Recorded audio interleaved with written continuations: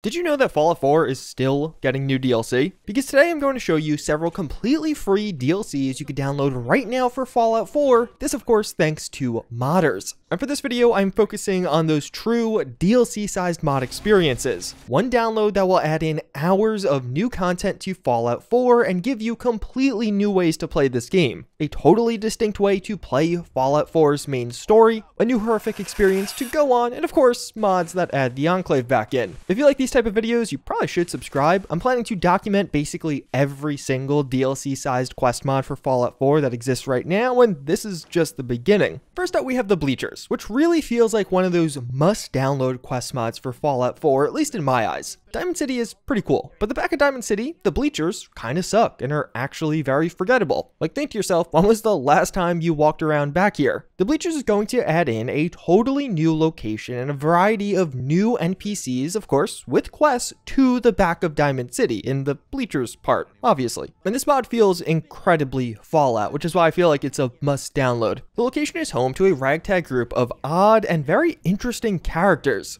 It features a Nuka World satellite location built for the World Series that never happened in Diamond City because, you know, the bombs dropped. But this is one of the most unique design locations in all of Fallout 4, and of course has a very wacky and interesting character to go along with it. But there are a bunch of other characters that are all over the top with their own identity, personality, and more importantly, quests. This mod features a fully fledged questline that will introduce you to each of these characters and even have them tagging along with you. The best part about this though, and one of the reasons I love this mod so much, is how well integrated it is into Fallout 4. This will take you to some of the familiar locations around the Commonwealth with a specific task in mind and really give those places some additional purpose. Over time, you'll build up an allegiance with this group and they will grow genuinely closer to you and unlock additional options for you. But even further, these characters actually live in this world world. They discuss fearing the Institute, the ongoing synth problem, and even how they have strong opinions on the Diamond City mayor. With one of the characters even having very close ties to the Atom Cats, which of course is one of the best factions in Fallout 4. And in the end, after completing this questline, you will be left with your very own player home here in the bleachers of Diamond City, as well as a plethora of other rewards. But again, the reason I love this is it really fleshes out some of the underutilized aspects of Fallout 4 with genuinely interesting characters that really feel Fallout. And the best part is this mod is still getting updates, mostly in the form of fixes as of right now, but a sequel is coming with the Fens Sheriff Department that will add in new lore, locations, and of course, a ton of new quests for you to experience. And with the sequel on the way, that makes this a very good time to experience the bleachers for yourself. But speaking of truly feeling Fallout, we also do have Lima Detachment. Lima Detachment is going to be a significantly more isolated experience when compared to the bleachers, but it still feels ingrained in Fallout's lore and honestly is literally ingrained in Fallout's lore. Following the Great War, the Enclave set up several forward operating locations in the Commonwealth. But with this Commonwealth force being a bit on the smaller scale, these locations have remained in the background. But now, of course, it's our task and it's time to take them out. And more importantly, in the purposes of this mod, collect some of their equipment that we find in the process of taking them out. This quest mod will involve you fighting against the Enclave and exploring their established presence in the Commonwealth. You'll fend off against the Enclave in a variety of new locations that they have set up that are Enclave themed, but it also does a really great job at establishing why the Enclave are here and just building off of the Enclave lore. All throughout these places, you're going to find terminal entries and more that explain why the Enclave have set up shop in the Commonwealth, and perhaps even more importantly, what they were actually doing here this whole time, the data collection and other information they have been processing, as well as the dungeons themselves as you experience them are incredibly well made. The lighting will definitely strike you and also kind of give them this mysterious or spooky vibe at points, and considering some of these are hundreds of years old, is incredibly well fitting, but also the decoration is really good. These places are tough, they have real challenges because you are fighting against strong Enclave soldiers at points, but with that comes a ton of good loot, and it feels like there are actual soldiers here that we're preparing. They're decorated in a very appropriate way for that. And that's really the second part of this mod. You're fighting off against the Enclave, but you get a ton of rewards once you beat them. There's a ton of new power armor styles added into Fallout 4 that you can use, but more importantly, a fully fledged new player home with a previously used Enclave bunker. This place is perfect if you like the older school player homes from past Fallout games and even comes with some special or unique features and of course a very distinctive design and layout. But what actually became my favorite part about this mod was some of the Enclave engineered chem items. These range from souped up versions of the typical Fallout 4 chems to even some more unique items like one-time use books. You loot these all throughout the adventure as you're clearing out the Enclave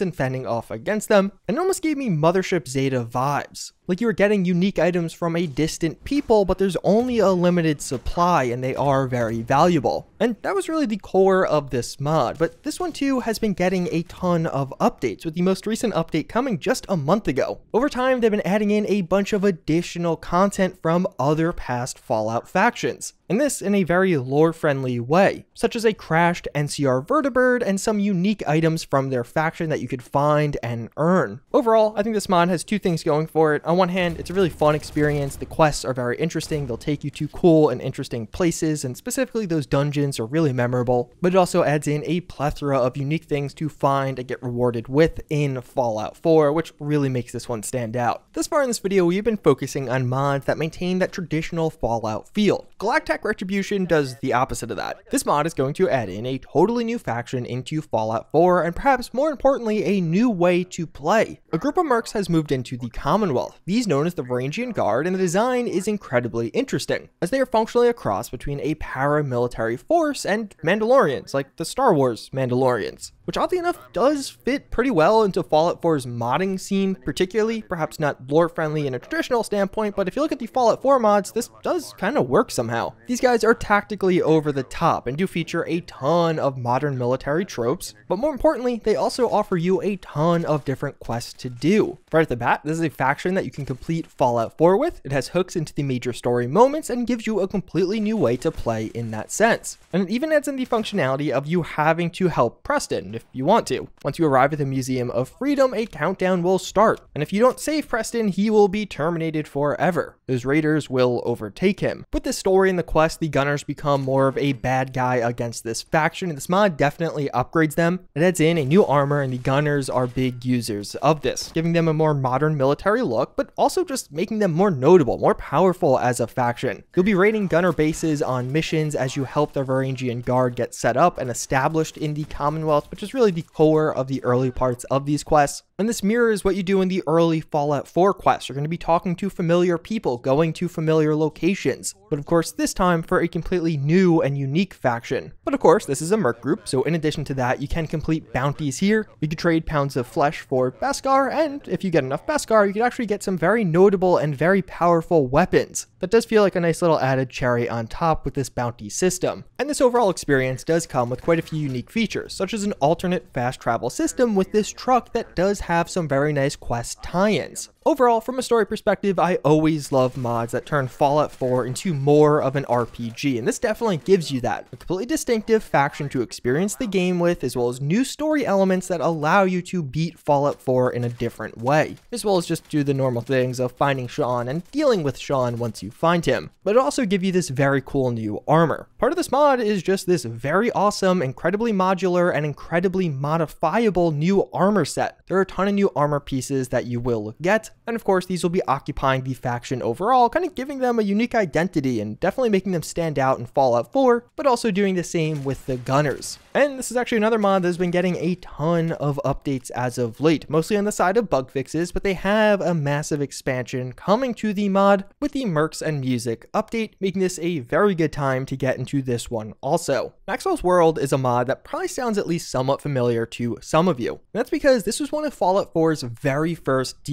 DLC-sized quest mods. The core of Maxwell's World is you are on a rescue mission. Someone notable in the Commonwealth has lost their sister, and it's your job to enter this horrifying abandoned theme park and bring them out. But of course, once you actually enter this horrifying abandoned theme park, you can't actually just leave. You are stuck here, with Maxwell himself horrifying you all throughout. But the pretty awesome part being, even though this mod originally came out in 2016, it just recently started getting new updates. As of this month, new fixes are being added so it'll work perfectly with the current version of Fallout 4. Meaning, you should play this one. Even if you played it years ago, you should play it again. It's that good, and especially if you have never experienced this for yourself. Maxwell's World is like a haunted Disney world World. This mod will turn the rules of Fallout 4 on their head and has all kinds of very spooky and unique interactions, as well as some very strong characters. Comedy is core here, and Maxwell's World has some very self-aware and very funny moments. Oh god, here he goes again. Don't sign them. Please be aware, according to the code Section 6, Subsection B, Article 2.3, that by assisting any Brotherhood endeavors, you agree to the forfeit of any and all items deemed higher technology, the specifics of which are detailed in Article 5 but also scary ones. This definitely has that haunting undertone, and there are some pretty spooky moments, especially if you're playing on higher difficulties. There are ghosts here, and you are stuck inside the theme park with them. There are a plethora of unique threats, several of which are theme park themed, like fighting a merry-go-round or a zombified theme park mascot, but also just the general spooky, scary, haunted threats. Over time, as you play through these quests, you're going to unlock additional sections of the park that keeps things feeling fresh. And, well, you have to do things, because if you want to get out of here, you have have to unlock all the parts of the park. And overall, it's just a very unique experience, not really a Commonwealth add-on, because this one takes you somewhere else. You are isolated here, but it's a very fun and very unique one-off experience that I definitely recommend trying. But overall, those are four DLC-sized quest mods you can download right now for free for Fallout 4. But literally all of these getting updates in 2022, and two of these actually having major expansions on the horizon. It's a great time to be modding Fallout 4. I have a lot more content on this game coming, and specifically a lot more of these DLC-sized quest mods coming. With that said though, as always again, I thank you for watching, and I hope to see you all next time. Later.